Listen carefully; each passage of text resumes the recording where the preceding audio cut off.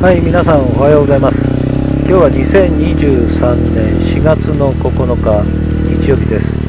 現在ね、都市川林道のね、下流側から上流側にね、向かって走っていきます。今日はね、フォトブロが7人でね、ツーリング、山の中をね、ツーリングして一日遊ぼうということでね、まあ、そんな感じになってるんで、集合場所のね、伊豆の国市のセブンイレブンまでとりあえずこの都市川林道をね使って走っていこうかと思ってます今日のお供はねヤマハ WR155R とね元ブロガーのボスボスさんの乗るヤマハのセローの2台で走ってますよろしくお願いしますまあねこの元ブロが集まってねディズニーランドで遊ぼうっていうツーリング計画はね3月にもあったんですけど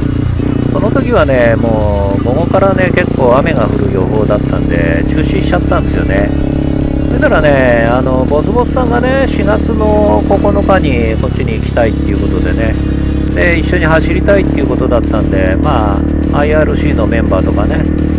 ライフルツイスターさんとかに連絡して、4月の9日どうでしょうっていうことにお話ししましたらね、そしたら、まあ皆さん、仲間をね、集めてくれて、で、7人ね、集まりました。で、今日はね、伊豆の国市のね、セブンイレブンで、まあみんなで集合して、そこからまあ都市川林道を使って、ワイナリーの方行ってね、そこから鳥居のところで遊んで、で、まあ鳥居まで行ってね、鳥居の上まで行ったぐらいのところで、まあ、初めてね、会う方もいらっしゃるんでね、どれぐらいのところまで走れるのかちょっとわからないんで、なかなかね、これコース設定が難しいんですけど、まあ、鳥居のところまで行って、鳥居の奥までその後走ればね、大体どのぐらいのところなら行けるかっていうところが判断つくかと思うんで、そこでね、今日のコースはどこで行こうっていうところを決めてね、でそこから、まあ、レベルに合わせた感じで、ディズニーランドでね、遊んで、ボスボスさんはね、マイクロバスっていうかね、バスコンでセロをね、後ろに乗っけて来てるんでね、奥さんと一緒に来てるんでね、で、今日その車止めてあるところまで、その後お昼に行って、それからね、みんなで今日はお昼はスイートカフェでね、ボスボスさんの奥さんも一緒に食べて、で、それからね、また第2鳥でも行こうかなって、まあそんな感じに思ってるんですけどね。まあとにかくね、今日は一日山の中でね、みんなで楽しく遊んでいこうっていう感じで、現在走ってるんですけどね。まあね、実際ね、一回もね、走ったことない人と走って、それもね、普通のアスファルトだったらいいんですけどね、なかなかね、林道とか山の中を走るってなると、どのぐらい難しいところまで行けんのかなってところがね、判断がね、すごい難しいんですよね。それでまあね、とりあえず見れる範囲はね、まあ、知り合いの元ブロガーさんですから、動画も見てるんでね、その人がダートを走った時にどの程度のところを走ってて、ここで走れなかったとか、引き返したとかね、まあそんなところで、若干ね、判断はできるんですけどね、まあ現実問題ね、生で走ってるところを見たわけじゃないんで、まあ難しいですよね、林道って本当に。で、あんまりね、簡単だとね、またそれがつまんないって話になっちゃうし、難しいとね、なんか、まあ、半ばね、フラット詐欺みたいな感じになっちゃうんでね、そこをね、どのくらいまで行こうかなってところね、まあ最初からね、コース決めちゃおうかとも思ったんですけど、まあそれもね、難しいんじゃないかなと思って、まあとりあえず鳥居のね、ところまで行って、その奥まで行って、まあそこでね、みんなの顔色見ながら、どの辺まで行こうかなって、まあそんな感じにしようかなと思ってるんですけどね。まあ今はね、この都市川林道のね、一番下流側のね、ところですから、まあこれね、採石敷き詰められた、結構ね、まあここはもう完全なフラットな林道なんですけどね、まあ普通にね、まあ3、40キロで走ってますけど、まあミラーで見る限り、ボスボスさんは普通についてきてくれてますんでね、まあ問題ないと思うんですけどね、まあ、私のやつはね、純正のトレイルタイヤでね、ボスボスさんはね、なんか、トライアルタイヤみたいなね、結構ね、ごついやつ、キャラメルパターンのね、そんなの履いてましたんで、まあ、スペック的にはね、私のこの WR155R よりね、セロ250の方がなんか高そうな感じがするんで、まあ、普通にね、このフラットダートは今現在ね、ついてきてくれてるんで、ここからね、もうちょっと、沈下橋をね、越えて、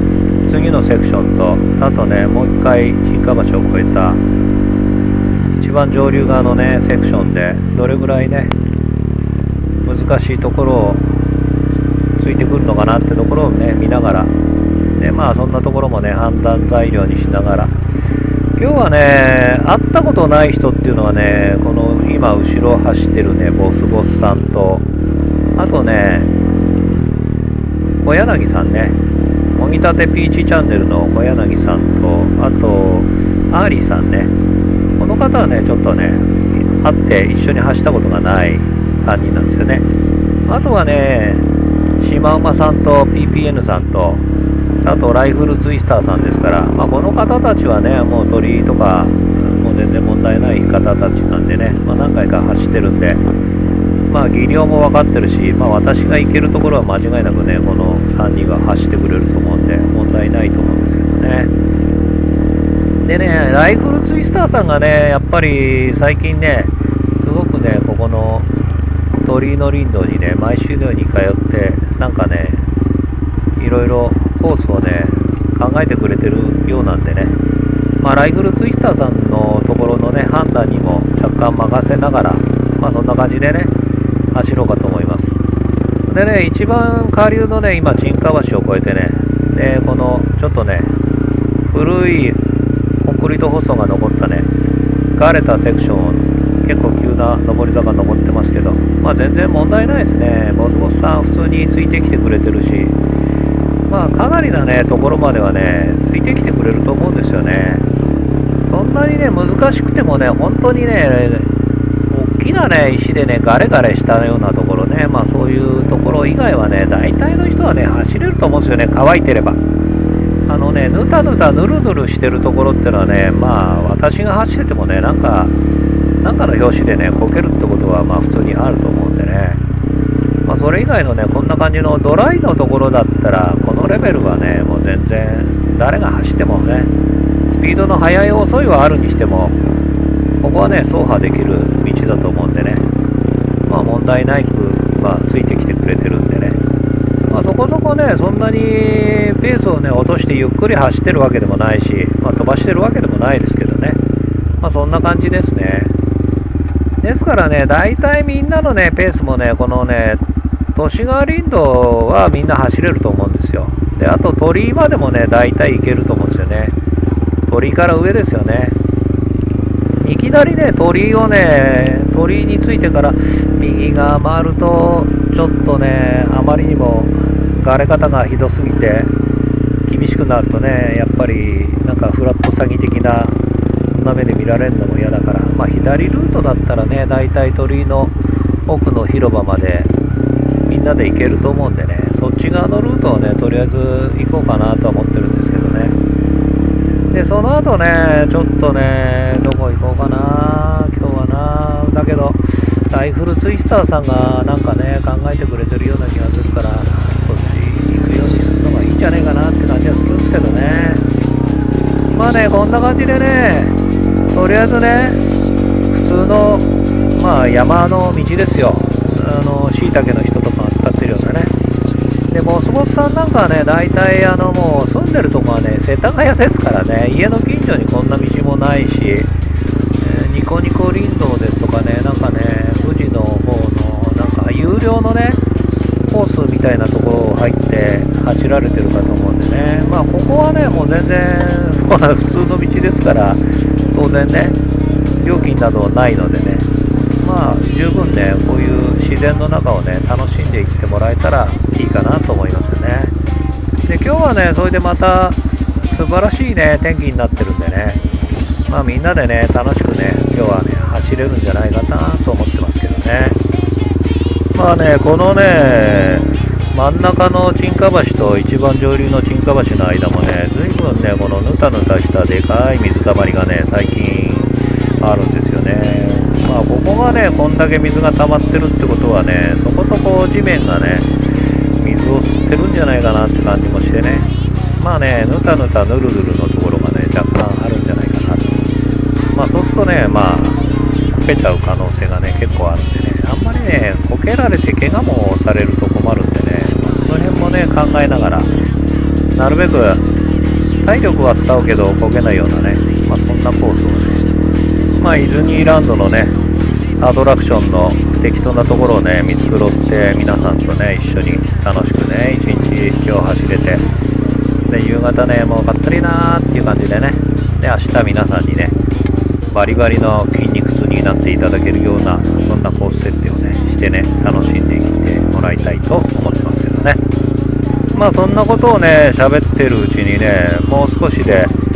一番ね上流の沈下橋のところですね。まあここまで来ればねあとはもう採石時期の超フラットダートになりますからね。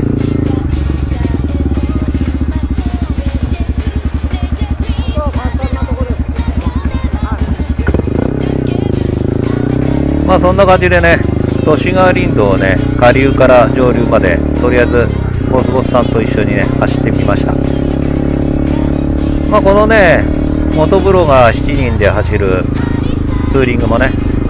まあ1日走りますから、動画も何本か上がっていくことになると思いますんでね、このね、元風呂が7人のね、